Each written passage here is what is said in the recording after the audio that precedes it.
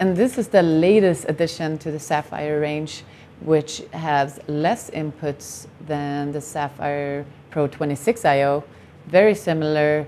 Uh, biggest differences is that it does not have the ADAT ability like the 26IO. So this one has 10 inputs and 10 outputs. So you still have the Green Series 8 preamps on the back of the unit, and then you have the line inputs on the front, so either or. Um, you also have SPDIF left and right. Uh, you can use the Saffire Pro 10 IO 24-bit up to 96K instead of 192. Take a look at the front panel, slightly different than the 26IO. You still have the same line inputs on the front, um, but you do not have the insert points like you do on the 26IO.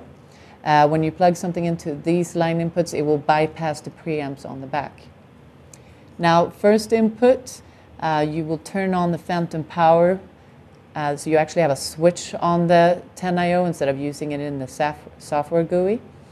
Uh, so this will turn on 1 through 4 and then you have a switch over here on input 5 that will turn on the phantom power 5 through 8.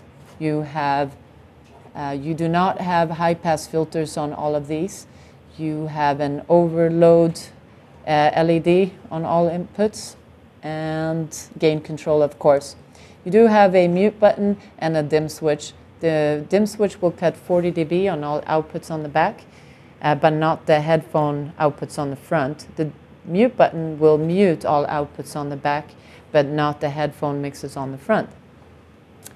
That's the front panel. Turn it around, see the back of the unit. Slightly different here as well. Starting, you still have that hardwired um, power supply, which you screw it on and it sits snug.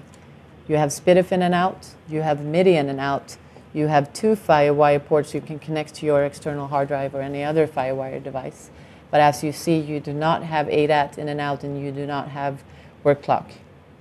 These are your analog TRS outputs and these are your Green Series preamps. You have eight of those. So as you see, the Saffire 10IO slightly different, but very much the same as the 26IO. It uses a very similar Saffire control um, similar coloring, but um, just doesn't have the exact same um, features as the 26IO.